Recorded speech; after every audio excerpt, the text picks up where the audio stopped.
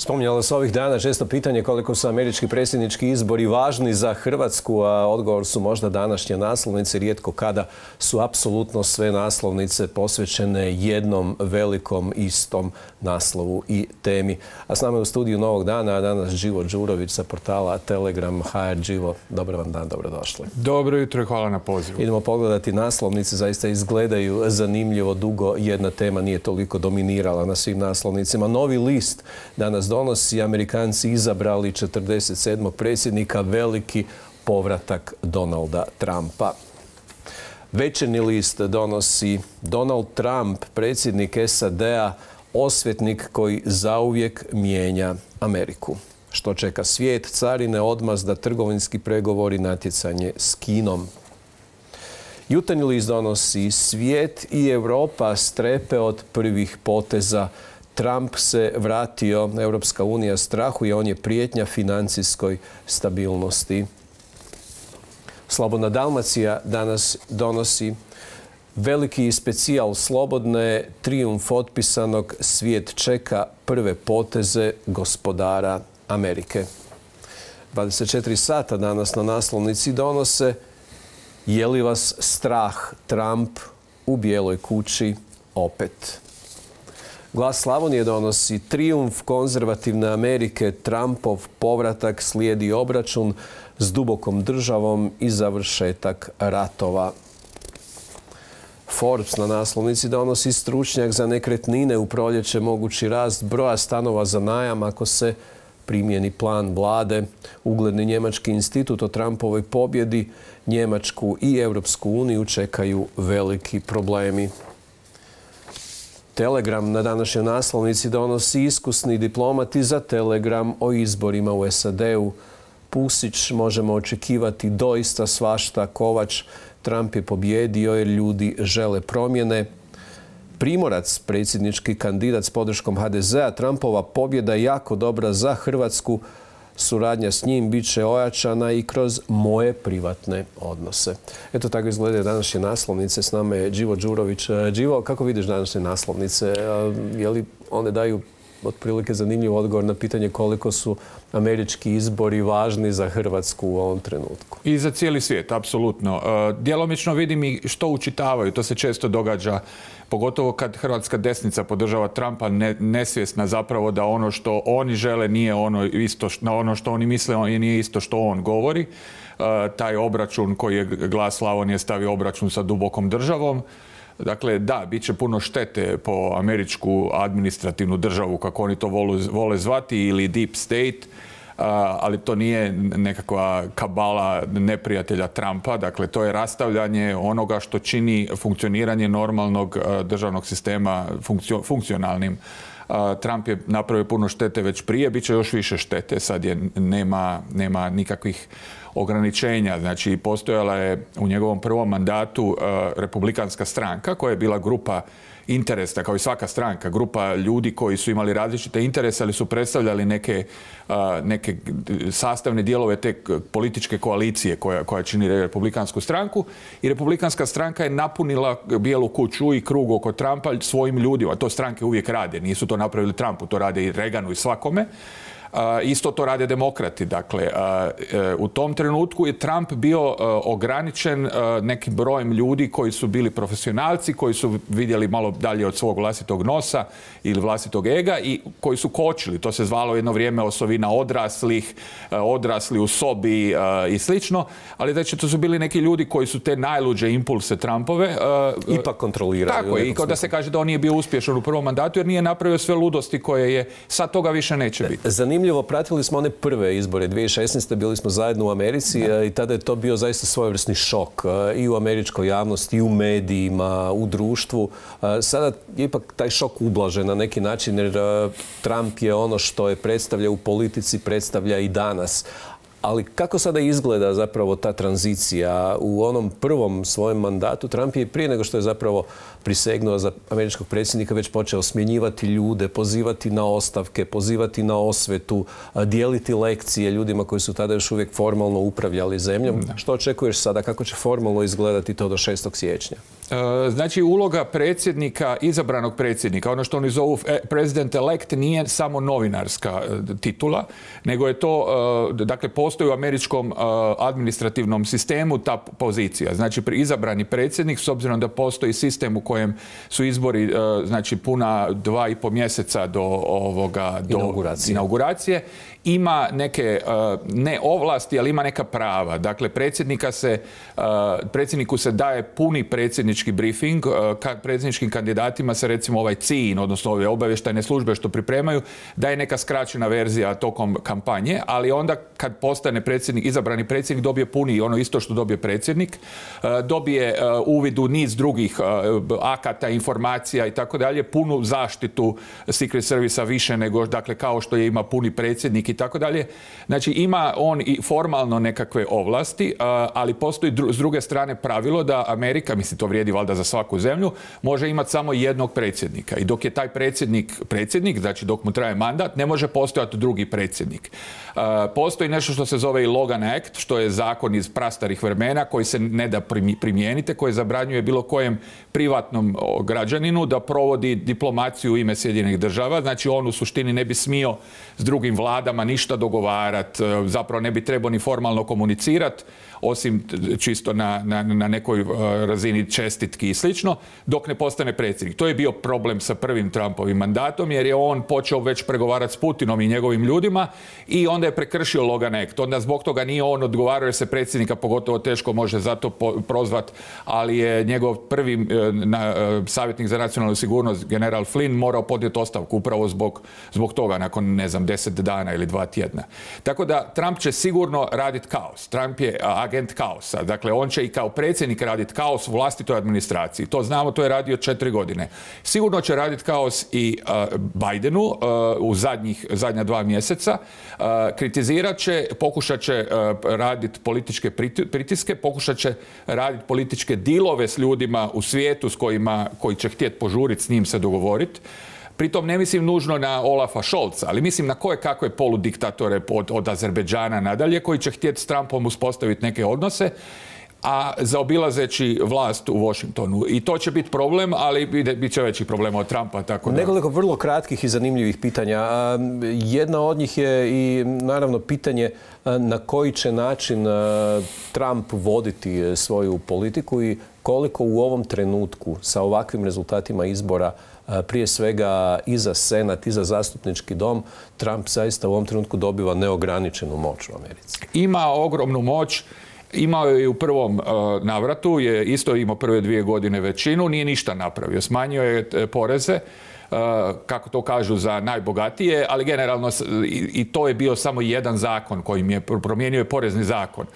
Mogo je svašta drugo napraviti što nije napravio, među ostalima zato što nije bilo ideje što bi se napravilo. Ono što su bile parole nije bilo popularno u javnosti, dakle opoziv Obamacare, dakle ukidanje zdravstvenog osiguranja, nije bila popularna ideja, na kraju nije ni prošlo. Čak ni među republikancima. Čak ni republikanci, na kraju su i to John McCain je okrenuo prst i, i, to, i to je propalo. Ali nije bilo puno ideje. Onda je izgubio tu apsolut trifekta, kako oni to zovu, znači tu, tu većinu u svim ovoga.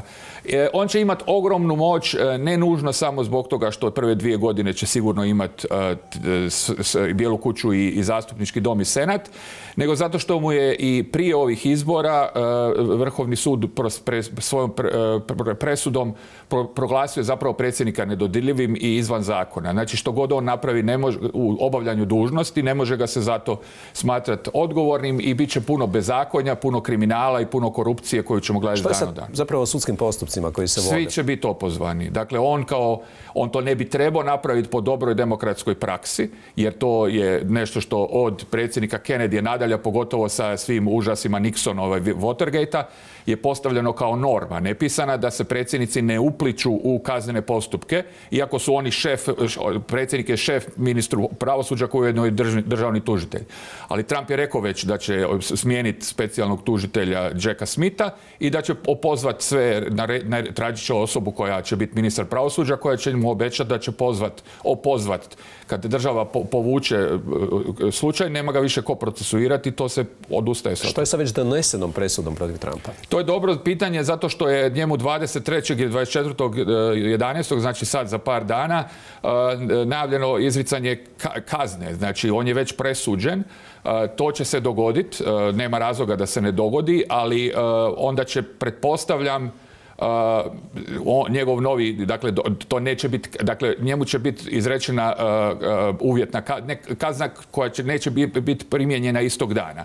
Znači, on, njemu će biti dopušteno, to se znalo nevezano za ishod izbora, da se pričeka sa žalbeni postupak, eventualno iz, izdržavanje kazne. Znači, on će biti čekat žalbeni postupak, u, u to vrijeme će postaviti svoje ljude koji će se na to žali to povući, bit će poništeno. Ja pretpostavljam da će se on iz toga isto izvući. Formalno on kao predsjednik može zapravo sam sebi e, donijeti takozvani oprost od kaznenog djela? On sebe može pomilovat, e, iako se to nije nikad dogodilo, e, ali nema razloga vjerovati da Trump to neće napraviti i neće biti nikoga ko bi to pokušao, dakle niko neće ići se s rogatim bosti u toj stvari. Idemo vidjeti što bi moglo biti posljedice za svijet kad govorimo o toj vrlo bliskoj budućnosti. Prije svega svi su usmjereni prema Ukrajini. Je li to zaista činjenica koja bi mogla biti prvi test američke vanjske politike Donalda Trumpa. Nisam siguran je li to prvi test, ali e, ne vjerujem da će se na Bliskom istoku, s obzirom da Bliski istok nevezano za predsjednika Americi više nije onako važan zbog nafte koju Amerika sama proizvodi. Znači uloga, važnost e, Bliskog istoka je puno, puno manja nego što je bila 90-ih, kad je bilo jako važno ko je tamo, e, ko tamo je jači, ko je slabiji. Znači, Bliski istok nije važan jednoj drugoj potencijalnoj administraciji, prema tome tu nije toliko važno.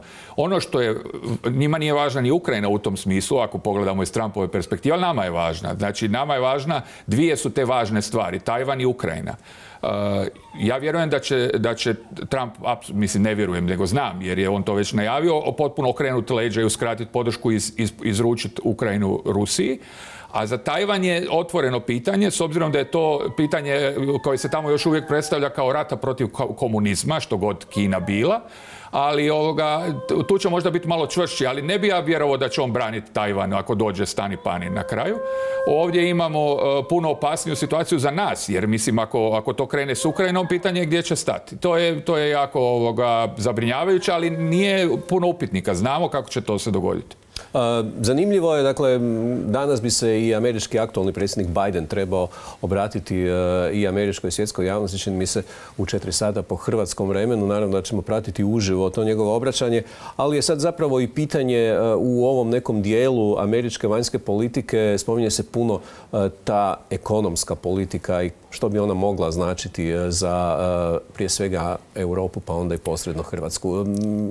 Hoće li to zaista ili koliko brzo utjecati na primjerice Europsku uniju, prije svega Njemačku. Dakle, da. SAD je najveći uh, njemački uh, teren za izvoz, dakle ovisi ekonomija zapravo velikim dijelom u Americi. Europska unija je glavni partner, dakle najveći partner. Dakle, uh, postoje tu dvije stvari. Jedna je konkretna stvar, dakle, da li će se smanjiti izvoz i da li će zbog toga pas proizvodnja u Europi i to je vrlo legitimno pitanje i moj odgovor bi bio da, zato što će on to napraviti, ali postoji šire pitanje. Nevezano za samu Europu, uvođenje, uvođenje carine od 60% na Kinu ili 20% na Kinu, dakle, razbijanje sistema slobodne trgovine kakav postoji već 40-50 godina u nekim dijelovima Europe, u zapadu postoji već nakon drugog svjetskog rata zapravo 50-ih, će izazvati globalnu ekonomsku krizu, dakle financijske potrese i globalnu krizu koja će biti vjerojatno u rangu one iz 2008.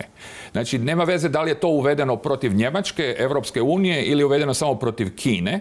Znači, to će takav biti udarac međunarodnoj trgovini i međunarodnoj svjetskoj ekonomiji da ćemo mi doživjeti ponovo onakvu situaciju kako smo doživjeli 2008. 2009.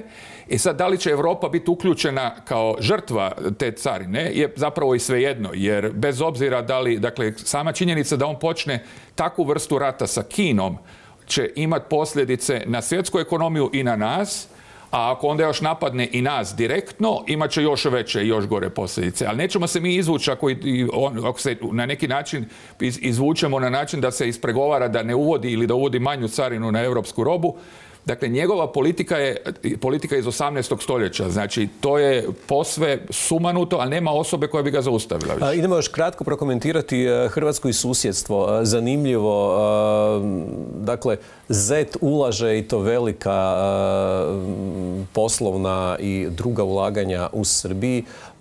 Pitanje je što će se dogoditi sa Bosnom i Hercegovinom. I jednom od temeljnih pitanja je ako američki protekcionizam koji je zapravo štitio sada cjelovitost Bosne i Hercegovine i snažno putem porukama o primjerice uvođenju sankcija ljudima koji su bliski Dodiku nestane u jednom trenutku. Dodik je i sam izjavio da mu je žao što u vrijeme prvog mandata nije proglasio ocijepljenje Republike Srpske od Bosne i Hercegovine. Mi vidimo iz drugih, drugih dijelova svijeta, iz prvog Trumpovog mandata i nakon njegovog mandata, da, su, da je cijela obitelj podložna, e, da, se, da, da je na, na raspolaganju na tržištu za, za kupnju. Znači, investicija od 2 milijarde, to je velika doduše, 2 milijarde dolara je kupila Trumpa apsolutno u Kušnerovu dakle, firmu je kupila Trumpa apsolutno na stranu Saudijske Arabije u bilo kojem sukobu, bilo kojem.